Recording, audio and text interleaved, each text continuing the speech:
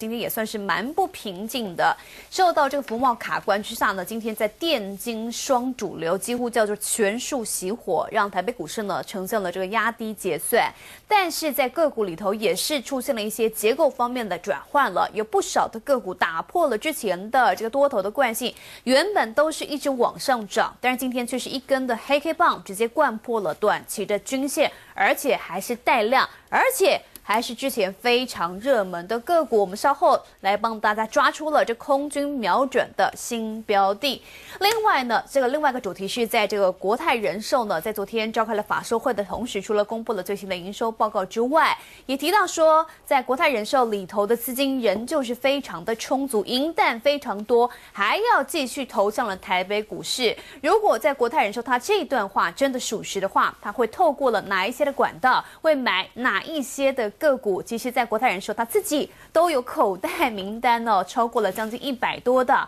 有哪几档会变成了这个国泰人寿新的这个加码的名单？我们稍后来大解密。不过，先回到台北股市，我们先透过一段新闻 V C R 来掌握下今天在白天的最新状况。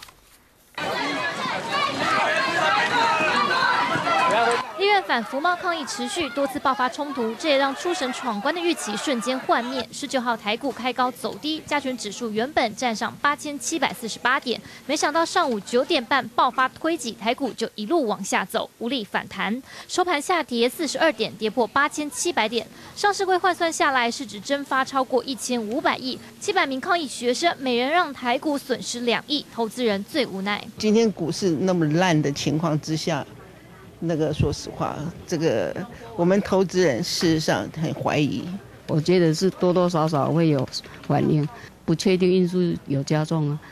所以可能这样会影响盘势的。首当其冲的金融类股只上演一日行情，十八号上涨零点七四个百分点，十九号马上惨跌，跌破一千点大关。像是元大金带头走跌，跌幅百分之一点六；富邦金同样开平走低，跌幅超过百分之一。金融类股一片绿油油，财政部长只能信心喊话：大陆这么重要的市场，我们又不签这个协议，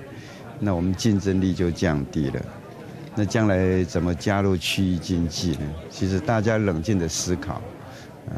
不要留意那些意识形态。现在这些股只是一个过程了，嗯，所以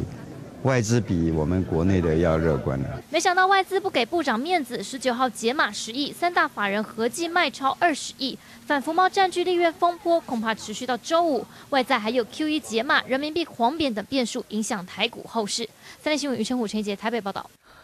好，在这个礼拜有这个事情真的还算蛮多的。除了这个台湾的内部的这个内忧之外呢，在这个外患的部分，当然是落在联准会哦。这两天都是在开最新的 FOMC 的会议，有可能让 QE 继续的解码之下，在双重利空，这个台北股市啊，就未来到底应该何去何从啊？先问一下郭爸了，目前这个多头态势啊，可以继续维持吗？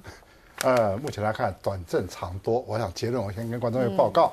不管是克里米亚的问题也好，或者这个美国联准会的 QE 啊，再减一百亿美元，或者说在这两天发生的福茂立法院的一个问题，其实基本上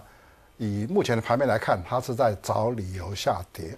因为从大盘也好，从 OTC 也好，其实我们注意到它本来技术面就已经出现了背离，出现了瑕疵。所以在这种情况之下，如果大家稍微回忆一下，在去年底、今年初的时候，所有外资报告跟国内的法人报告。把第一季的目标都设在八千八百点，那么回过头来看这一波的高点八七八七已经来到，那么目前的时间点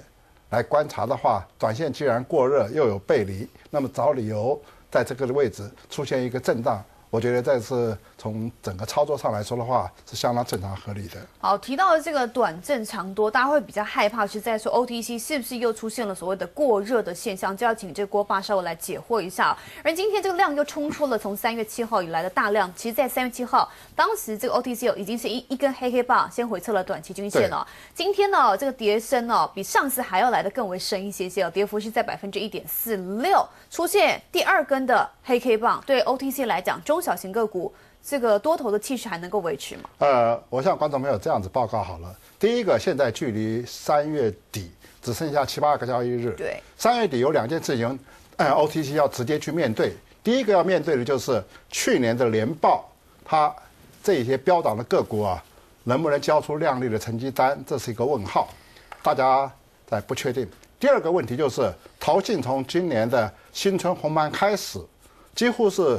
在集中市场，每天都在卖，资金全部移到了 OTC，几乎是连天天是买超的状况。那么这代表这一次的淘讯第一季的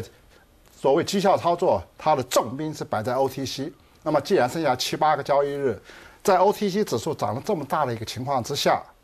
它会结账还是会做账？我想这个也是市场对它所存在的第二个疑虑。第三个疑虑，目前这一波 OTC 指数的高点来到一四八，大家可以看一下。嗯，这个一四八啊是什么位置呢？我向观众朋友报告一下，指数大盘指数在九二二零的时候，那么 OTC 的指数是一四七点五八，那么在前面一个高点九三三零或者九八五九，它的高点在哪里呢？在一五二。那么一四八到一五二既然是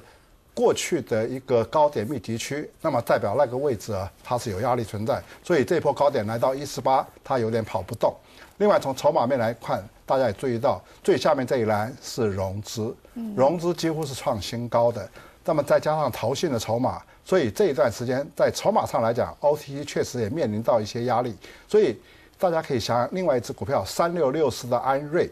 安瑞这一波上来之后连涨了十个停板，